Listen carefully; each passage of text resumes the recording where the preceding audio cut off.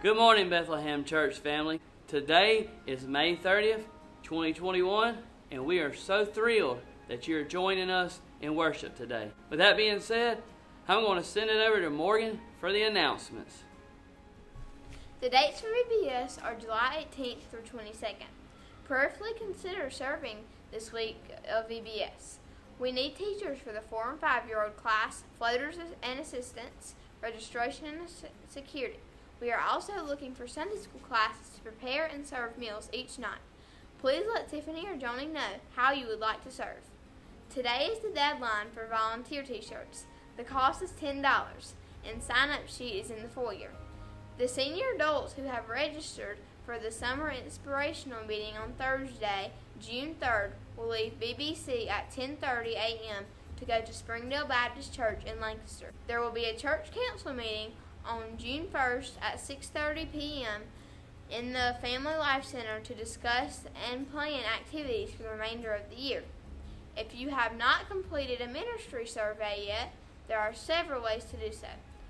There's a paper survey, or you can access it online at our website under the Resources tab. Please complete one by Sunday, June 13th. Mark your calendars for July 25th for, for, for our mission trip to West Virginia. More information to come. New members class begins on Sunday, June 6th at 9 a.m. in the room 203. Please let Pastor Patrick know if you are interested in being a part of this class. Youth leader meeting immediately following morning worship today in room 203.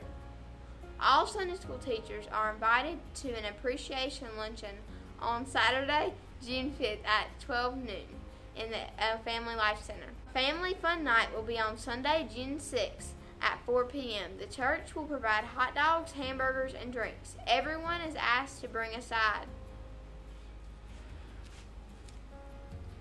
In today's message, we'll be in the book of Nehemiah 12. We're covering the topic of rebuild, emphasizing the joy as followers of Christ. In our passage this morning, we will read about the dedication of the walls in Jerusalem. The celebration is a declaration that this city is where the name of Yahweh is made known and worshiped among the people. Before they get back to their busy lives, the people of God take time to worship God corporately. As followers of Christ, our God is worthy of our worship. He is worthy because of who He is and all that He has done for us. We have joy in our lives that overflows through our lives because Jesus has saved us. The joy we have in our lives is to be expressed through our worship to God. Do you have a joy in your life? If so, is that joy overflowing your daily life and our corporate together? This morning, may we be reminded that we should never be too busy to worship our King. Now it is time to start our service. Who is ready to worship the one true King?